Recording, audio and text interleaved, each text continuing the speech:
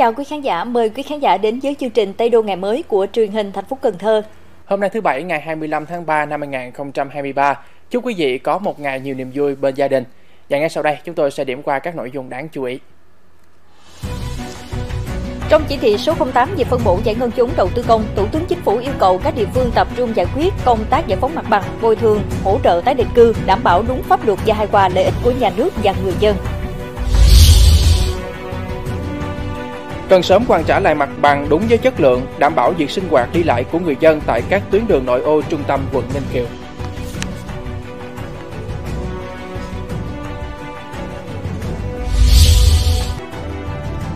Lợi ích của khiêu vũ thể thao đối với các em thiếu nhi.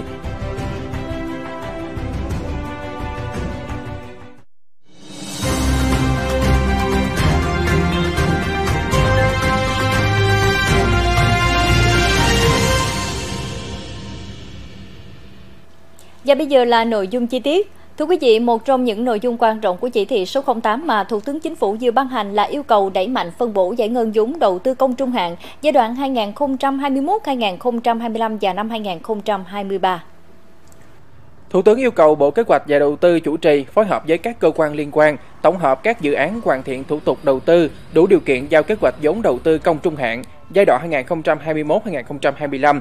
báo cáo Thủ tướng Chính phủ, Chính phủ đề xuất phương án xử lý đối với số vốn ngân sách trung ương của kế hoạch đầu tư công trung hạn giai đoạn 2021-2025 đã phân bổ cho các bộ cơ quan trung ương và địa phương, nhưng không thể giao chi tiết cho các nhiệm vụ dự án theo quy định.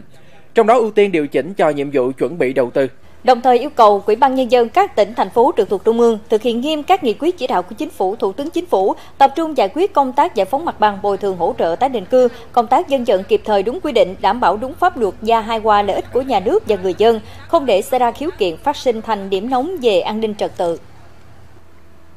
Theo kho bạc nhà nước Cần Thơ, tính đến 16 giờ chiều hôm qua, tỷ lệ giải ngân vốn đầu tư công của thành phố Cần Thơ so với quyết định Thủ tướng giao là hơn 13%, so với Hội đồng Nhân dân thành phố giao là hơn 15%. Số giải ngân ngân sách địa phương trong ngày là 10 tỷ 293 triệu đồng.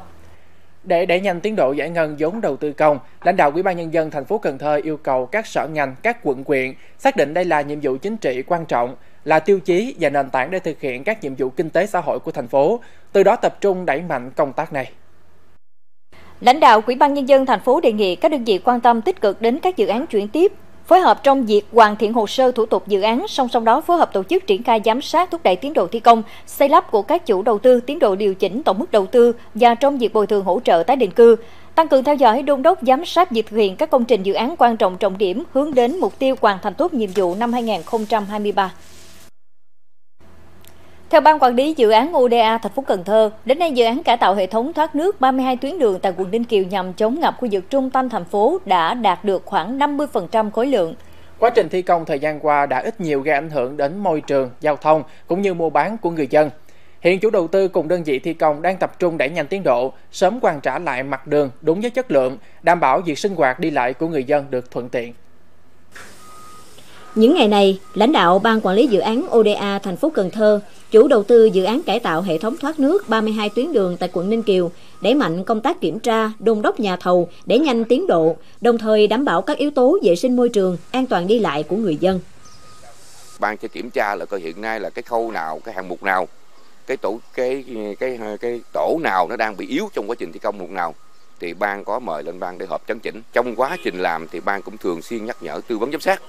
là phải kiểm tra lại cái vệ sinh môi trường. Cũng tưới nước thường xuyên nhưng trong quá trình làm thì ít nhiều gì cũng ảnh hưởng tới à, sinh hoạt. À, của bà con cũng mong bà con hết sức là ủng hộ. Trước khi mà thực hiện dự án thì ban quản lý dự án của DA thì cũng có gửi công dân để mà thông báo cái thời gian khởi công đối với các tuyến đường của phường. Thì trên cơ sở đó thì phường à, triển khai đến chỗ các khu vực triển khai đến các hộ dân. Thì từ đó thì cũng tạo sự đồng thuận trong quá trình thực hiện thì cũng có giao cho địa chính xây dựng thì kiểm tra đối với những cái ờ, vấn đề cần khắc phục thì cũng kịp thời báo cáo ờ, báo cáo là công dân phối hợp với ban quản lý ODA để rồi thực hiện xử lý. Hiện nay nhiều tuyến đường đã hoàn thành việc lắp đặt cống thoát nước, san lấp mặt bằng, sẵn sàng láng nhựa. Đơn vị thi công đang gấp rút triển khai thi công các hạng mục, tăng cường nhân lực, máy móc và làm việc cả ban đêm. Thưa quý khán giả, 22 giờ trên tuyến đường Lý Tự Trọng hàng chục công nhân và phương tiện máy móc đang khẩn trương thực hiện cái công đoạn trải nhựa tuyến đường này để đảm bảo cho người dân đi lại an toàn. Và bên cạnh tôi lúc này là đại diện của công trình. Anh cho biết thì đêm nay thì mục tiêu của đơn vị mình đặt ra như thế nào ở trên tuyến đường này ạ? Tuyến đường này bọn em đang dự kiến là thi công trong vòng 2 tối là để hoàn thiện để đảm bảo cái việc ừ, giao thông đi lại cho bà con. Mình à, đảm bảo những công tác an toàn như thế nào cho việc người, người dân đi lại cũng như là đơn vị thi công ạ? Dạ. Thì về nói về công tác đảm bảo an toàn giao thông thì thứ nhất là cọc tiêu biển báo và người đảm bảo giao thông ạ. Thì người đảm bảo giao thông thì bọn em cứ ừ, sắp xếp là hai người. Thì trong đấy là một người đứng đầu và một người chỉ dẫn xe ra vào ừ, đảm bảo dọc tuyến ấy. Ở đây hồi đó giờ nước ngập thì thấy nhà nước làm cống làm lộ thì vui mừng phấn khởi chung là được mai mốt làm ăn nó cũng thuận tiện hơn chúng tôi rất là phấn khởi thường thường họp dân những cái buổi lần tiếp xúc cử tri cuối năm và cái sinh hoạt dân chủ ra dân cũng tuyên truyền về vấn đề này. Tiến độ của công trình này làm rất nhanh. Nhanh mà có hiệu quả. Nói chung á là những người dân mà nhất là những cái hộ mà ở mặt tiền này nè thì ờ, thì rất là ủng hộ đơn vị thi công. Ví dụ như tạo điều kiện cho cái đơn vị thi công để ờ, những cái vật tư ở trên cái lề mình thậm chí để phía trước cửa nhà mình. Khi mà đi đường đó thì mình mình cũng thông cảm cho các cái đơn vị thi công. Cùng với nỗ lực của cơ quan chức năng và đơn vị thi công sự ủng hộ tạo điều kiện thuận lợi của nhân dân việc nâng cấp cải tạo các tuyến đường sớm hoàn thành sẽ góp phần chỉnh trang đô thị phục vụ tốt đời sống người dân theo Bộ Nông nghiệp và Phát triển Nông thôn, hiện có 7 sản phẩm thủy sản của Việt Nam xuất khẩu sang Trung Quốc gồm tôm, cua, cá hồi, mực, cá minh thái, cá tuyết, cá tra. Trong đó tôm là sản phẩm được Trung Quốc nhập khẩu nhiều nhất. Việc đăng ký xuất khẩu sản phẩm thủy sản được thực hiện hoàn toàn trên hệ thống thương mại một cửa của Tổng cục Hải quan Trung Quốc. Đến thời điểm này, đã có 805 doanh nghiệp của Việt Nam được phía Trung Quốc cấp phép cho xuất khẩu thủy sản. Để đẩy mạnh xuất khẩu thủy hải sản sống sang thị trường này, các cơ sở nuôi, bao gói cần phải được cơ quan quản lý nông lâm thủy sản địa phương kiểm tra, chứng nhận điều kiện an toàn thực phẩm, điều kiện vệ sinh thú y và được cấp mã số.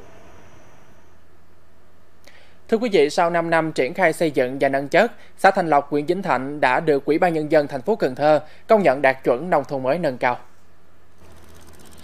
Xã Thanh Lộc, huyện Vĩnh Thành được công nhận đạt chuẩn nông thôn mới vào năm 2017. Từ đó đến nay, Ban Quản lý, Ban chỉ đạo xây dựng nông thôn mới xã và huyện không ngừng đầu tư nâng chất các tiêu chí theo bộ tiêu chí nông thôn mới nâng cao. Trong giai đoạn 2017-2022, xã quy động trên 180 tỷ đồng để xây dựng kết cấu hạ tầng nông thôn như cầu đường giao thông, trường học, trạm y tế, nhà văn hóa. Đa phần các tuyến đường trên địa bàn xã đều được bê tông hóa, tỷ lệ hộ dân sử dụng nước sạch đạt 90%, 7 trên 7 điểm trường đạt chuẩn quốc gia theo quy định, cơ cấu kinh tế chuyển dịch đúng hướng góp phần nâng cao giá trị hàng hóa nông sản, thu nhập bình quân đầu người đạt 65 triệu 700 ngàn đồng, tỷ lệ hộ nghèo giảm còn 2,46%. Phó Chủ tịch Ủy ban nhân dân thành phố Cần Thơ Nguyễn Ngọc Hè đã đến dự lễ phát động thả cá tái tạo nguồn lợi thủy sản nhân dịp kỷ niệm ngày truyền thống nghề cá Việt Nam 1 tháng 4 tại khu vực bè cá ông Nguyễn Văn Bon, Cồn Sơn, khu vực 1, phường Bùi Hữu Nghĩa, quận Bình Thủy.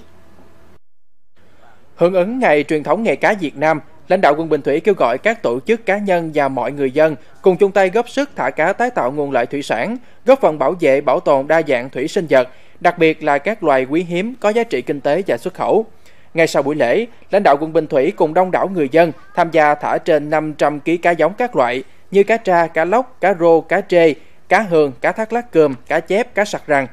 Bên cạnh đó, quận thực hiện treo các băng rôn, cờ phướng, tuyên truyền xung quanh khu vực thả cá và tại các tuyến đường trung tâm.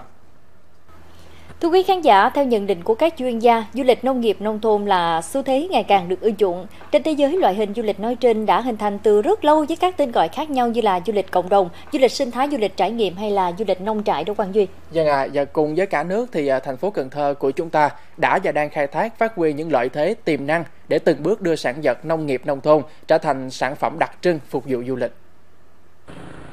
Mặc dù là khu nghỉ dưỡng cao cấp, nhưng Cần Thơ Eco Resort tọa lạc tại xã Nhân Nghĩa, huyện Phong Điền vẫn chú trọng phát triển hệ thống vườn cây ăn trái đặc sản vệ tinh để phục vụ nhu cầu tham quan của du khách. Đây cũng là xu thế chung đang được nhiều khu điểm và hộ kinh doanh hoạt động du lịch trên địa bàn thành phố thực hiện thời gian qua. Các mô hình vườn trái cây không chỉ góp phần gia tăng giá trị kinh tế mà còn là sản phẩm phụ trợ đặc trưng không thể thiếu của du lịch Cần Thơ nói riêng, dùng đồng bằng sông Cửu Long nói chung.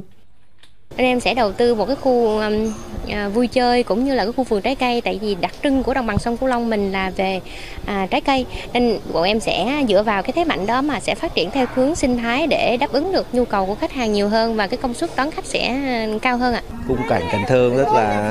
là là là, là, là nhiều cây cối, nhiều cây ăn trái, con người ở đây cũng rất là dễ thương, mến khách. Ngoài ra, trong vài năm trở lại đây, mà nhất là sau dịch Covid-19, trên địa bàn thành phố Cần Thơ còn xuất hiện một số mô hình du lịch nông nghiệp đặc thù, điển hình như làng hoa Cần Thơ, Cần Thơ Farm hay các điểm vườn du lịch sinh thái chuyên phục vụ khách tham quan cũng như thưởng thức các loại trái cây theo mùa. Cần Thơ thì một thành phố à, à, du lịch đang phát triển thì theo đó thì bên em à, à, định hướng thì à, sẽ làm ở Cần Thơ một cái à, làng hoa à, trước mắt là làm một cái vườn hoa nhỏ từ từ bên em sẽ đầu tư làm nguyên một cái à, nếu mà được uh, ổn định thì bên em sẽ làm nguyên một cái làng hoa tại thành phố Cần Thơ luôn giống như làng hoa Sa Đéc để nâng cao hiệu quả cũng như giá trị hoạt động du lịch trong tình hình mới, Quỹ ban nhân dân thành phố cũng đã phê duyệt đề án phát triển du lịch nông nghiệp trên địa bàn thành phố Cần Thơ giai đoạn 2021-2025, tầm nhìn đến năm 2030. Theo đó, mục tiêu đề ra là đến năm 2025 có ít nhất một khu điểm du lịch nông nghiệp cấp thành phố, đồng thời thu hút khoảng 1 triệu 300 ngàn lượt du khách đến tham quan các mô hình du lịch nông nghiệp. Năm 2030, thu hút 2 triệu 400 ngàn lượt khách với doanh thu từ du lịch nông nghiệp đạt 1.920 tỷ đồng. Cái mong muốn của khách du lịch hiện nay thì ta cũng mong muốn là được tham quan các cái điểm vườn thật sự, chứ không phải là đi vào để mua trái cây ăn không. Thì à, cái hiện nay thì chúng tôi cũng phối hợp cùng với huyện để rà soát lại xem cái à, diện tích của các cái nhà vườn trái cây đó thì hiện nay nó loại hình trái cây gì và diện tích nó như thế nào để đáp ứng được cái nhu cầu tham quan của khách chứ không phải là chúng tôi chỉ thấy là chỉ tham quan các cái homestay không. Ngành nông nghiệp thành phố cũng đang à, tập trung à, nhiều cái giải pháp à, phối hợp với à, các cái à sở ngành, à, các cái địa phương có liên quan để gắn cái phát triển cái à, du lịch nông nghiệp xem đó là một trong những cái à, giải pháp để đa dạng hóa à, tích hợp đa giá trị trong cái sản xuất nông nghiệp. Đề án cũng nêu rõ quan điểm phát triển du lịch nông nghiệp là một trong những giải pháp, nhiệm vụ trọng tâm của thành phố và là trách nhiệm của cả hệ thống chính trị, các cấp, các ngành cũng như cộng đồng.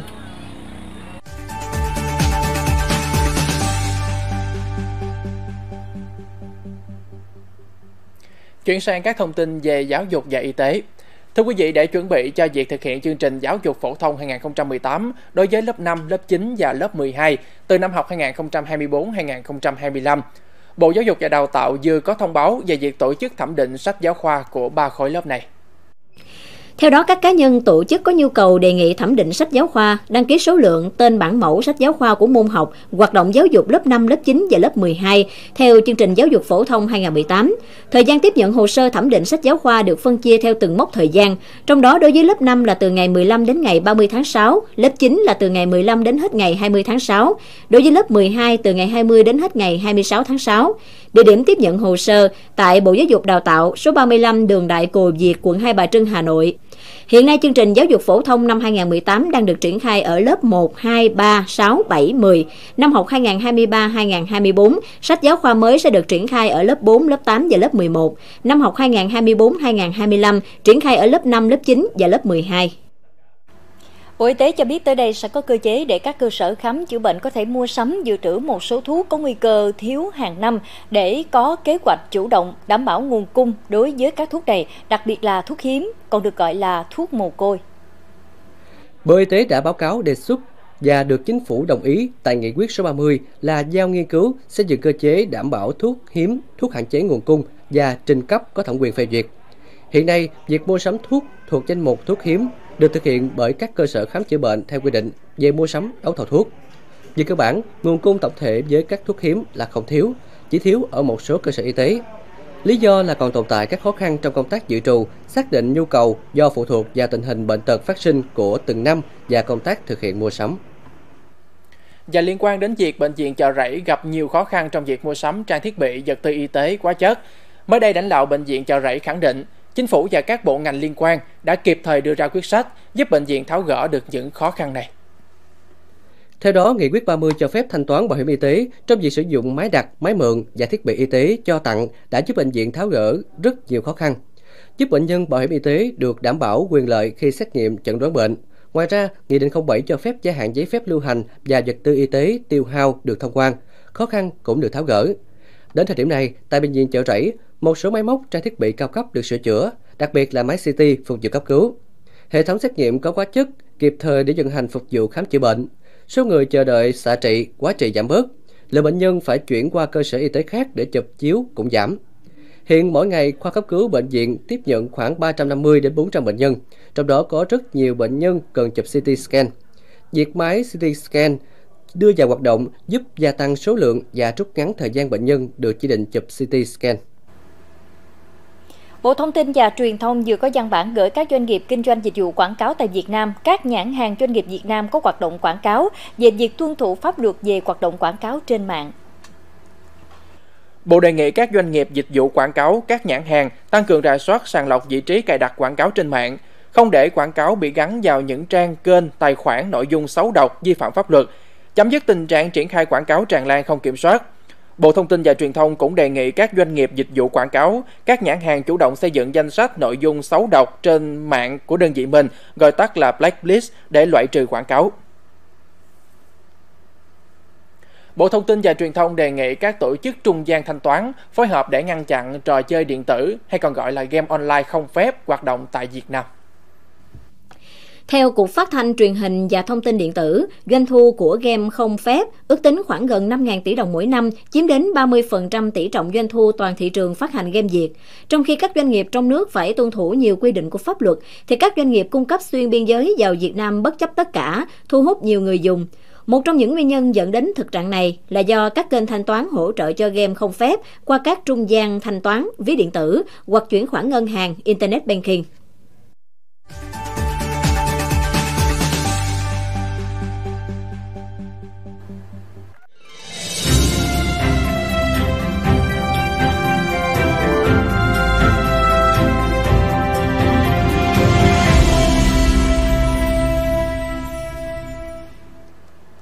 Thưa quý khán giả, ở xã Thế Hưng, huyện Cờ Đỏ, đời sống bà con chủ yếu là sản xuất nông nghiệp. Thời gian qua, Hội Liên Phụ Nữ xã tổ chức nhiều hoạt động hỗ trợ chị em có điều kiện phát triển sản xuất, tạo việc làm lúc nông nhàn. Điều này không chỉ mang lại niềm vui mà còn giúp thắt chặt hơn tình làng nghĩa xóm. Gia đình chị Nguyễn Thị Bích Tuyền ở ấp 1 xã Thế Hưng, huyện Cờ Đỏ có hai con giường trồng xoài Đài Loan. Năm 2022 được Hội Liên hiệp Phụ nữ xã tạo điều kiện dây vốn ưu đãi 50 triệu đồng Nhờ vậy, chị có thêm điều kiện đầu tư chăm sóc vườn xoài phát triển. Liên tiếp 2 năm vừa trúng mùa vừa được giá nên qua lợi thu về được kha khá. Ngoài thời gian chăm sóc vườn, chị còn làm thêm nghề đang ráp lúa, công việc thường xuyên và ổn định, nhờ vậy cuộc sống gia đình chị phát triển. Thời gian rảnh rỗi thì à, tôi cũng à, nhận lúa về làm, thì ngày thu hoạch cũng được 200 thì nhờ cái cái à, thu hoạch bên xài với với à, thời gian rảnh mai lú à, thì trang trải thì cũng khỏe. Với vai trò là phụ nữ thì hội có nhận quỹ thác từ ngân hàng chính sách xã hội uh,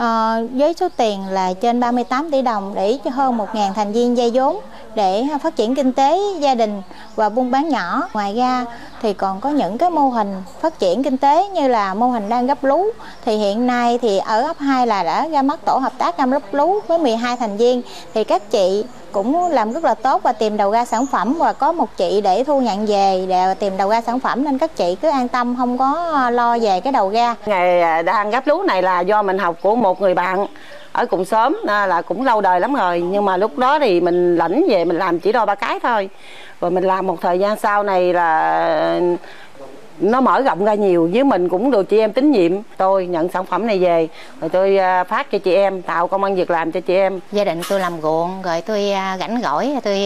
qua đây tôi học lúa tiếng tâm rồi tôi về tôi được mà mai được 3 năm rồi. Ba năm mà ngày mai được hai cái, cũng được trăm mấy.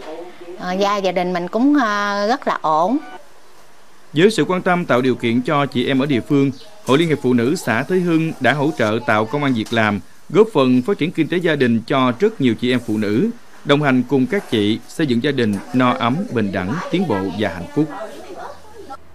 Trong môi trường học đường, việc xây dựng lồng ghép vào các hoạt động giáo dục lối sống văn hóa ứng xử chuẩn mực rất quan trọng nhằm góp phần nâng cao hiệu quả giáo dục và tạo môi trường an toàn thân thiện để thầy gia trò cùng phấn đấu dạy tốt học tốt. Và tiếp theo chương trình hôm nay, chúng tôi sẽ giới thiệu về cách làm và những hiệu quả của việc xây dựng văn hóa ứng xử ở trường tiểu học Võ Trường Toản, quận Ninh Kiều. cô mời các em cùng thực hiện việc làm, cùng sắm hoa. Và vâng lời ông bà, ba mẹ, thể hiện những việc làm của mình. Và đến... Qua bài học này thì có học được mình phần mình cần lễ phép với ông bà, cha mẹ, thầy cô giáo. Còn với bạn bè là hợp tác, tôn trọng, hòa nhã để mình học tập tốt. Chúng ta là học sinh chúng ta phải biết kính trọng thầy cô, yêu mến thầy cô, chăm chỉ học hành, à, làm đúng quy định của trường. Quy tắc ứng xử nơi trường học thì trường cũng triển khai đến tất cả các bộ cán bộ nhân viên của trường và bên ờ, tiếp theo đó là đối với các em thì ờ, thực hiện lồng ghép ở các tiết học và trong trong những tiết học thì cho các em sánh vai sánh vai để thực hiện các tình huống phù hợp để giúp các em hiểu được và, và tôn trọng việc tôn trọng thầy cô giáo và thực hiện được tốt cái quy tắc ứng xử trong nhà trường. Thực hiện đề án xây dựng văn hóa ứng xử trong trường học, thời gian qua, trường tiểu học Võ Trường Toản quận Ninh Kiều xây dựng và ban hành bộ quy tắc văn hóa ứng xử tuyên truyền phổ biến cho tất cả cán bộ giáo viên học sinh. Trong đó quy định cụ thể mối quan hệ ứng xử từng thành viên như ứng xử giữa giáo viên với giáo viên, giữa giáo viên với học sinh và giữa học sinh với học sinh. Trong công tác giáo dục, giáo viên tăng cường tổ chức cho học sinh trải nghiệm tình huống sắm vai để các em chủ động phát hiện kiến thức, xây dựng lối ứng xử văn hóa, Nhà trường tăng cường tổ chức cho học sinh tham gia sinh hoạt chuyên đề, trò chuyện cùng chuyên gia để các em được học hỏi, hình thành phẩm chất đạo đức tốt. Qua 4 năm thực hiện về cái công tác ờ, văn hóa học đường thì rõ ràng là học sinh của chúng tôi có rất nhiều tiến bộ. Thứ nhất là về giải lễ phép với thầy cô, với người lớn tuổi và ngoài ra thì các em còn biết giao tiếp với bạn bè một cách tốt hơn. Ờ, các em ờ, không có ờ, gây sự đánh nhau và các em biết hòa nhã với các bạn cùng lớp, với các anh chị lớp trên. Bên cạnh đó thì 100% thì thực hiện tốt cái nội quy của trường lớp xây dựng môi trường học đường an toàn, lành mạnh, mối quan hệ hài hòa, góp phần nâng cao chất lượng hiệu quả hoạt động giáo dục, đồng thời tạo tâm lý thoải mái, vui vẻ để mỗi ngày đến trường của các em đều là một ngày vui.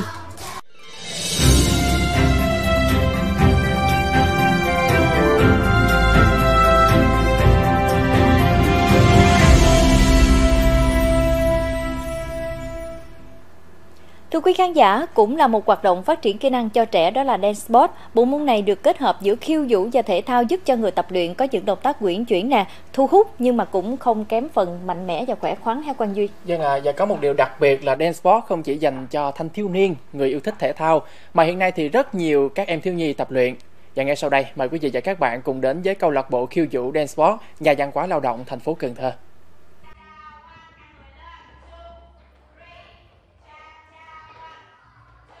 Một buổi học dance sport của các em nhỏ tại nhà văn hóa lao động thành phố Cần Thơ lúc nào cũng rộn rã và sự háo hức. Bởi khi đến đây, học khiêu vũ là cách để giúp các em gia tăng kỹ năng xã hội, đặc biệt là sự tự tin. Nhiều em chia sẻ, đến với lớp dance sport, được tiếp xúc với thầy cô, bạn bè, tham gia biểu diễn trước đám đông với sự tập trung cao độ nhất có thể, đã giúp các em vượt qua nỗi sợ hãi, e dè. Nhờ vậy các em cảm thấy tự tin hơn trước nhiều người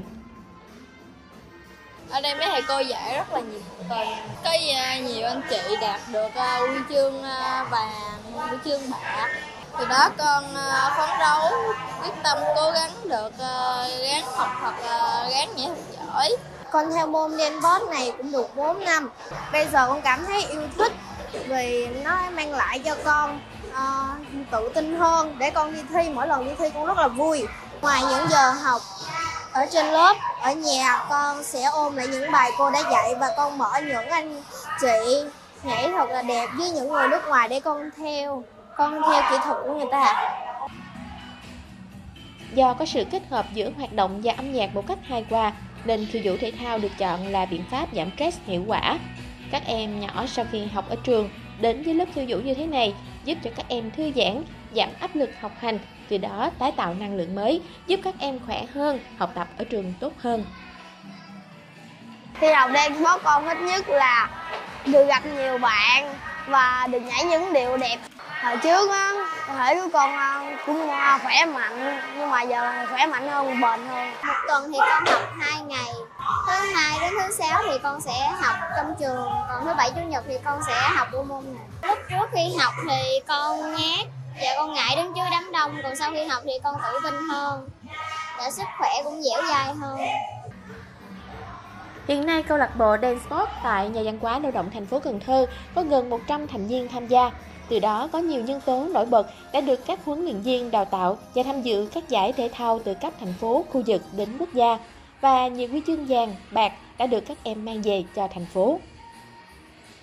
Sau khi những các lớp phong trào thì mình sẽ ờ, phát hiện ra những bé nào có tài năng và dạ, vào nhóm đội tuyển của câu lạc bộ nhà văn hóa thành phố Cần Thơ và sau đó đó mình đào tạo và có những cái khung giờ riêng dành cho đội tuyển của thiếu nhi, thiếu niên và thanh niên thường ở đây ờ, các bé học thứ bảy nhật và đến khoảng tầm 9 giờ là kết thúc và vẫn đảm bảo việc học ở các trường và việc học văn hóa và các bộ môn khác. Dance Sport là một bộ môn thể thao nghệ thuật thích hợp cho cả bé trai lẫn bé gái. Cho trẻ học khiêu vũ khi còn nhỏ không chỉ giúp trẻ gia tăng vận động mà còn phát triển thể chất, trí tuệ và tinh thần. Không những vậy, qua đây còn phát hiện những tài năng nhí cho thể thao Cần Thơ.